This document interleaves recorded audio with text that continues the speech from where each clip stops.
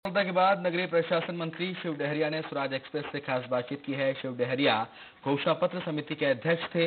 उनसे खास बात की है संवाददाता रूपेश गुप्ता ने। शिव डेरिया हमारे साथ हैं। नगरीय निकाय चुनाव में जो रिज़ल्ट आए हैं उसको लेकर के बातचीत करते हैं। आपके ऊपर ज़िम्मेदारी थी घोषणा पत्र बनाने की। कांग्रेस पार्टी को जीत मिली है नगरीय निकाय चुनाव में। घोषणा पत्र की कितनी बड़ी निश्चित रूप से हमारा जो घोषणा पत्र था विधानसभा का, उसमें हमको जीत मिली थी।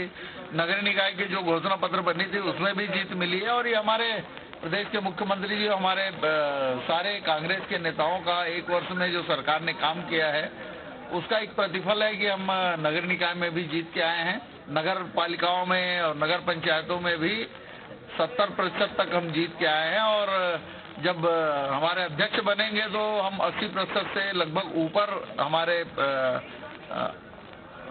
गन्ना होगी। तो ये निश्चित रूप से प्रदेश के लिए हमारे कांग्रेस के कार्यकर्ताओं की जो मेहनत है वो रंग लाया है। कोरबा को लेकर के क्योंकि वहाँ पे भारतीय जनता पार्टी की सीटें ज़्यादा है बातचीत हो गई है क्या? निर्दलीय आपके साथ आ रहे हैं? देखिए वहाँ पे भी हमारे नेतागण प्रयास कर रहे हैं और निश्चित रूप से उसका लाभ हमारी पार्टी को मिलेगा।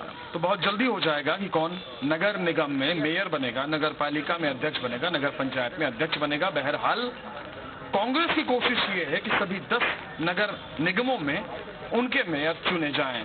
लिहाजा कांग्रेस के नेताओं का यह कहना है कि जो निर्दलीय पार्षद हैं, उनसे बातचीत की जा रही है, उनको अपने खाने में लाने की कोशिश भी की जा रही है।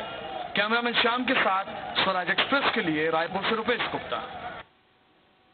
और इसी बीच लेंगे एक छोटा सा ब्रेक, जल्द होंगे हाजिर